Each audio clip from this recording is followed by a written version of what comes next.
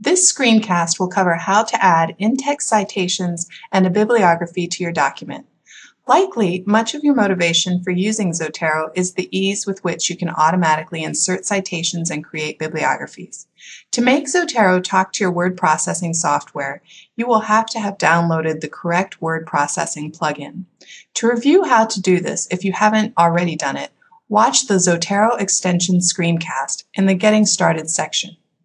You will know that the Zotero word processing plugin has been added if, when you are using a PC with Microsoft Word 2007 or newer, you find these Zotero icons in the Add-ins tab. If you are using a Mac, you will find the Zotero tools under the Word script menu.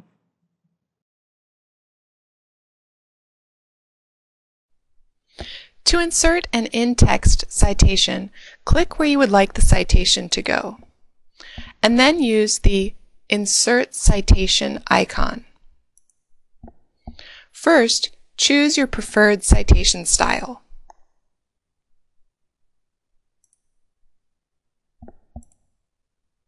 Next, you are given a search box that lets you enter any information that you know about the citation you are looking for, the keywords from the title, tags, or an author's name.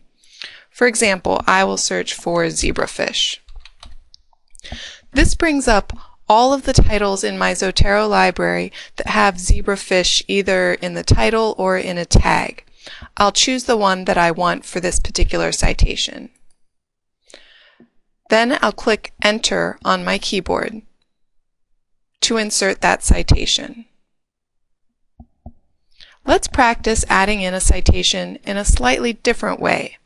Again, click where you would like to insert the citation.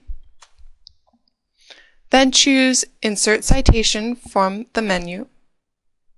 This time, on the Z, click and choose Classic View.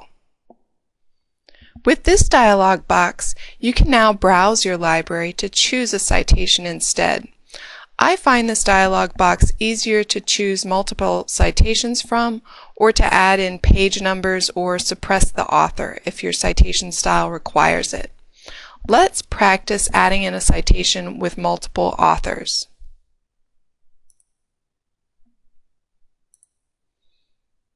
I'll choose the Multiple Sources button and then choose the different articles that I would like to cite this idea. Then I'll click OK. My multiple citations have now been added. Now let's add our bibliography or references list. Start your bibliography below your text. Then choose Insert Bibliography from the Zotero icons. The bibliography will be automatically generated in the citation style you chose earlier. As you add more in-text citations to your text, these will automatically be added to your bibliography.